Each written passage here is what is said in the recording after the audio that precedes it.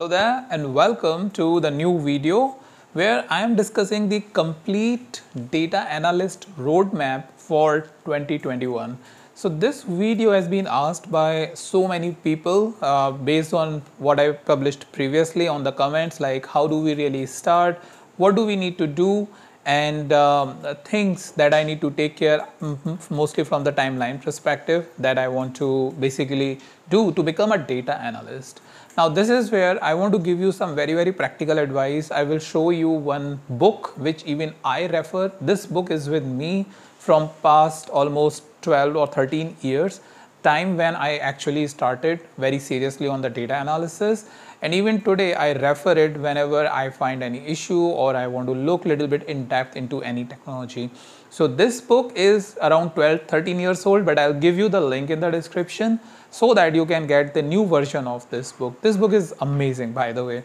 So what I'm first of all want to talk, talk about before giving you the roadmap, roadmap is present only in three steps which I will show you in a minute. Before that I want to give you some perspective on the data analyst so that when you will see the roadmap you will be able to understand why I am saying this okay so data analyst is someone who is analyzing data right that's the core of this thing but usually what happens in an organization suppose if you are if you have never done any analysis you are already in a company but never done the data analysis or you are a complete fresher who have never been into any company and wants to become a data analyst and wondering what should I do or what really happens. So the overall cycle of the data analysis is like this that you have a problem from let's say the management or a requirement from the management that yes you want to analyze. Let's say you want to analyze about the declining product trend. You want to analyze a change. You want to analyze an uptrend. It can be anything right? Now first thing is you analyze something you report it back your findings right? And when you report it back you report it either in the form of let's say a spreadsheet or a presentation or something around those lines so what happens is once your analysis is accepted, it becomes a regular activity and you need to basically do it on a regular cadence. It can be weekly, monthly, quarterly, even daily, who knows, right? And because once it is approved and it becomes a daily cadence, you know, you cannot really go through all the different manual steps and everything. So you try to automate that stuff. So that's why this profile becomes a little bit tricky where you not just analyze the data, I mean you, you are not just responsible for analyzing the data, but you are also responsible for if if this this is accepted and it's a regular activity then automate this and present it so that you can take up new activity. That's like a very very regular or a normal scenario in any company. You will see what really happens. Analyze present accept it then analyze uh, automate and present it that's it. These are the three steps. Based on that, these three steps, I'm sharing you what I uh, what I'm referring as the core of this thing, the core of data analysis, which you follow along with the time period. Okay, so I will tell you in each activity how much time you need to spend daily, and finally I will tell you uh, the total duration, the minimum duration you need to follow uh, based on a complete beginner perspective. Okay, so with that, let's move on and First thing is you need to learn about the data and data analysis techniques for which you need to spend 2 hours daily okay? And for this what i want to share with you is my this book. I hope you can see this. This is the uh, statistics for managers. This book is such an amazing one where at the start of this book you have a case study which they are referring in the entire chapter. They are slowly advancing step by step as to what are the steps and strategies you will move on when you are looking at more advanced question and finally they have lot many uh, lot many exercises which one should do or I have actually done to really get a good grasp on the data and the data analysis technique. So this book as you can see it's, it's quite a thick book and uh, initially for me it took me somewhere around close to 3 to 4 months to completely go chapter by chapter and I actually spent two to three hours on a daily basis in the evening. Uh, once all of most of my activities are done and I'm, I'm having free time uh, from my job, I used to I used to just spend two to three hours. And this book has really helped me with the data analysis and techniques. So it has the uh, right from the start, it has the um, uh, the uh, the information about what really the statistics is, what really the data is, the different types of data, how do you treat those different types of data, then starts with the basic principles like mean, median, mode, the averages, and then uh, the variances like standard deviation, variance, and things like those. Then it slowly moves on to the hypothesis testing, the probability, and then move it on further to ANOVA and those techniques, and then uh, then it goes on the regression, the time series forecasting and things like those. So it has a lot of material which usually if you go in any academic sort of a setting, it will going to at least take one year. But if you want to, if you can fast track by dedicating like two to three hours, then I think you can really, really get a good grasp within, uh, within let's say three, three months or four months to, to basically um, basically have a complete understanding of what really happens with data and data analysis technique or the things you need to take care for data and data analysis techniques which I am referring it over here. So that's my first recommendation based on my own experience and I've shown you this book is with me from past 12 or 13 years.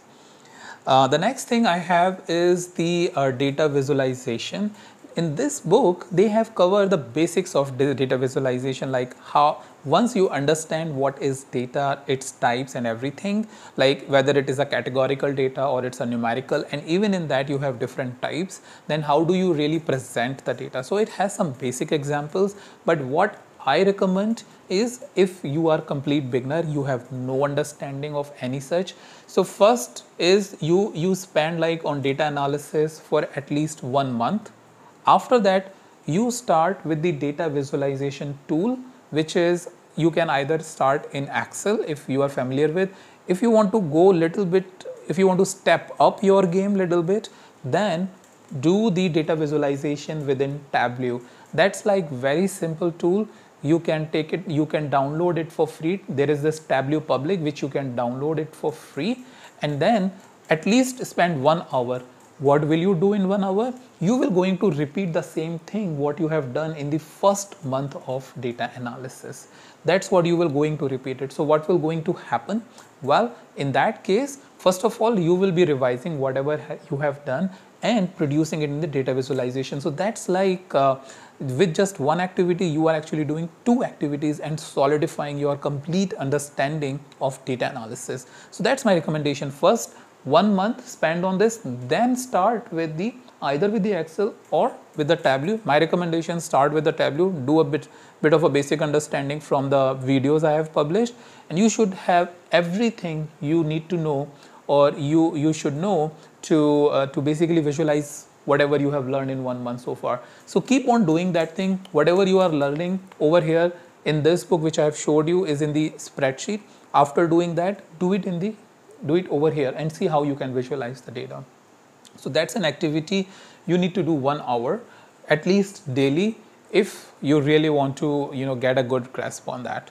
Now let's move on to the third and last thing. After that, I will show you the duration, overall duration that you will going to take or one should take to complete all of these three activities.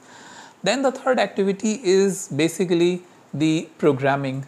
Well, you cannot escape from it if you are planning to have an entry level job into the uh, into the into the field of data analyst. So my recommendation in case of programming simply simply go with python pandas. Just one thing learn it. That's it. I would not say in python you have python numpy you have python um, matplotlib as a visualization library and so so many libraries. But whenever the data processing will come into the picture, you will have to use the pandas as a library and it has all the functionality of numpy most of the functionality if not all because uh, the pandas is based on numpy if you are not sure about all those technical jargons that i'm using or these libraries that i'm using don't worry but remember python pandas if something that you need to learn to basically uh, practice this. So what will you going to do? Again, whatever you are learning over here, after that, I would say the one first month do this.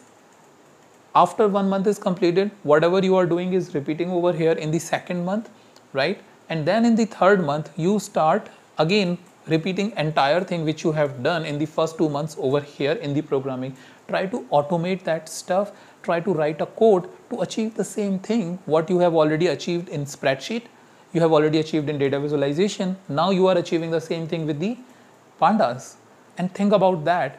If you are doing a practice side by side for all of those techniques and repeating the stuff, you will have entire understanding trust me you will have entire understanding of all these techniques which is written in this book so it's basically again one hour which i am recommending nothing more so first complete this practice this and practice in this so it's all in all four hour is only what you need to spend. Don't spend anything less or more than this what i see uh, or i know at least.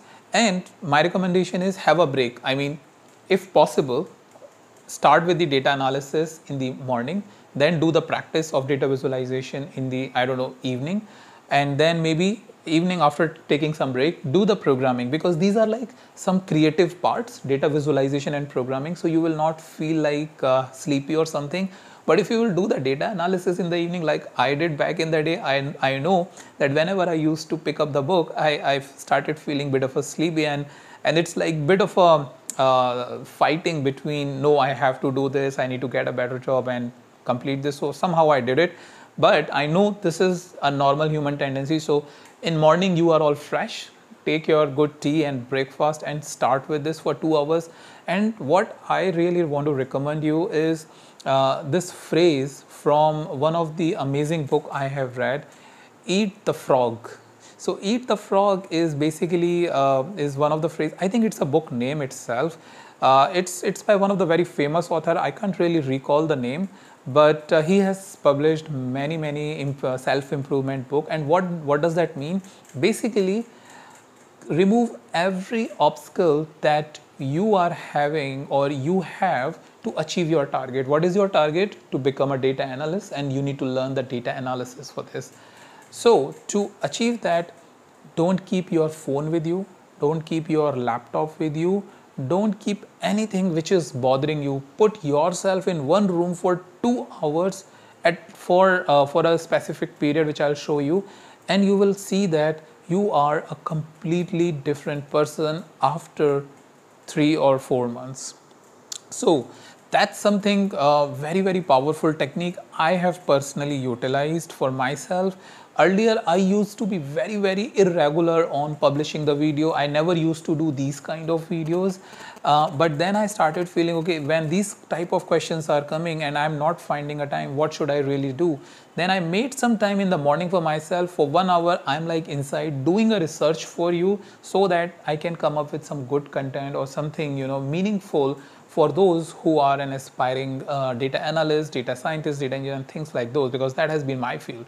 So that's something I have practically followed for one hour daily. And trust me, my productivity has increased like anything. Today, it's like it has become a ritual. Morning, I wake up, do my uh, evening, uh, morning tea and breakfast, and I'm inside my uh, small study room where I work as well during this work from home practice.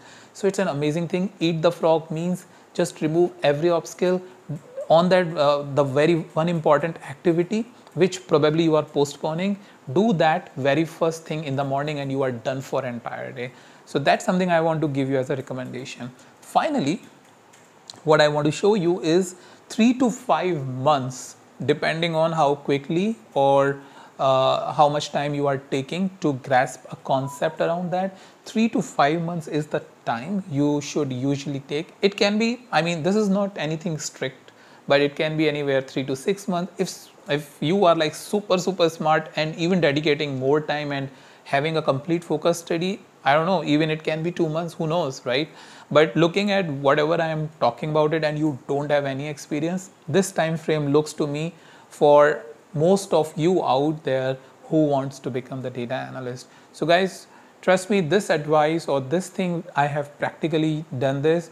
I'm pretty sure you can do it and you can basically become someone who is an expert level data scientist. When i say expert level from an in, uh, from an introductory or associate data analyst or introductory position you can be an expert who is having an amazing understanding of those critical concepts which even many uh, experienced data analysts. For example nobody uh, i mean i have i have asked uh, many data analysts like why do you use chi-square test? Can you give me any two examples? Right or what is the difference between the uh, between the t-test and z-test and things like those right?